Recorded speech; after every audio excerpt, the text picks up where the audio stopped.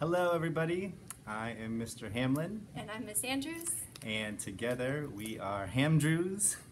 Uh, your scholar may have mentioned to you that they are either a Hamlin scholar or an Andrews scholar, but uh, when they work with both of us every day, we call ourselves Hamdrews scholars because we work together to be the best scholar that we can be. And hopefully, your scholar, your child, has told you a little bit about what being a scholar in our classroom entails. But we wanted to kind of give our um, our perspective as the teachers um, on what to expect as a parent in our classrooms this year. Yes. So Mr. Hamlin and I are both um, Gator fans. We both graduated um, with our bachelor's and our master's degrees from the University of Florida, and we've been teaching um, in Gainesville or in Wesley Chapel or around the Tampa area since then. Um, Some of us are older than others. but we still But- rep the orange and blue. And so this year, uh, one of the biggest things, if even if you're not a Gator fan, that's okay. Uh, we appreciate all all walks of life and all colleges. You can still be our friend.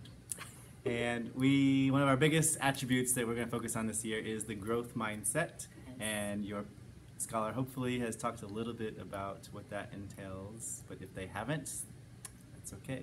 That's what we're here to talk about. And so this year, hopefully, your scholar is going to feel a little bit of struggle, and we're hoping to push them outside their comfort zone as we get them ready for middle school.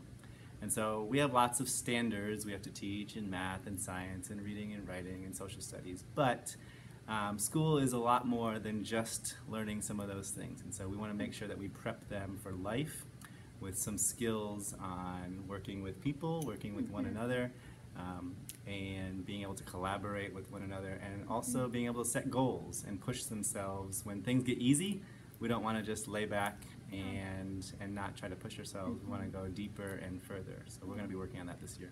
And we know that learning begins at the end of our comfort zone, and so that's what we're going to be pushing our scholars to do. And so we would love your support and uh, being a cheerleader and not a hero, and making sure that we are embracing the struggle and embracing the process and the progress that we see, and not just a perfection or the A, or um, but we're definitely rewarding um, effort and growth. Um, We're looking for progress, not perfection. We'll get there eventually. We know that we're still early in the year. Um, we have goals, but some of those goals will meet at the end of the year. and we believe in the power of yet. the beautiful three letter word. Um, that being said, we do love our scholars dearly as scholars and as individuals, and so um, we cherish the relationships that we build with your family, um, the parents, uh, the siblings, and the scholar.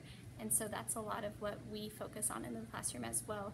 Um, you'll see that we greet them with handshakes, whether it's a formal handshake and a good morning, Mr. Hamlin, good morning, Miss Andrews, how are you? As we teach interpersonal skills um, that they're going to need in the professional world.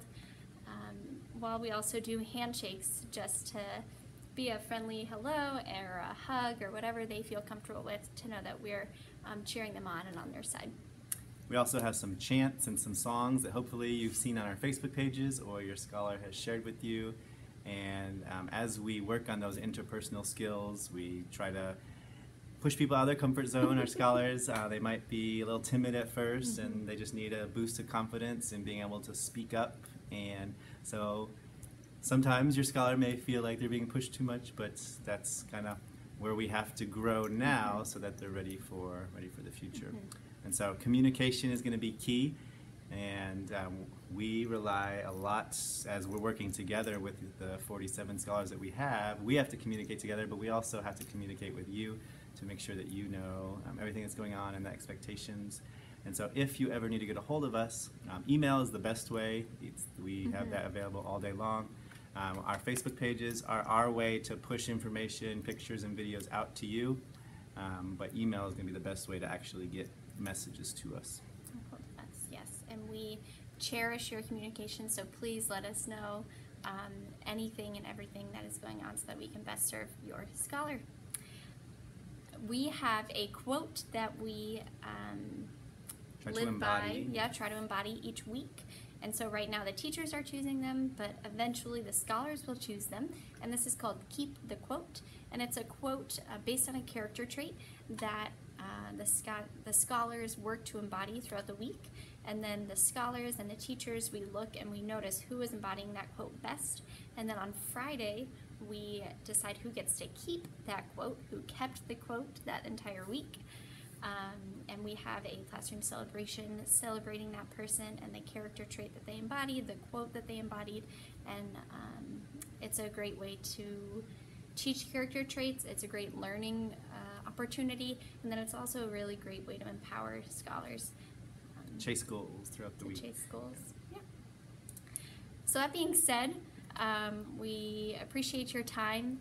And if you have any questions or you'd like to schedule a conference, there's going to be a link uh, right next or below next to um, this video so that you can meet with us in person. We would love to talk about your scholar's growth and any dreams that you have for your scholar or that your scholar has for themselves and what uh, scaffolds or processes that we can put into place to challenge your scholar appropriately this year. So thanks so much.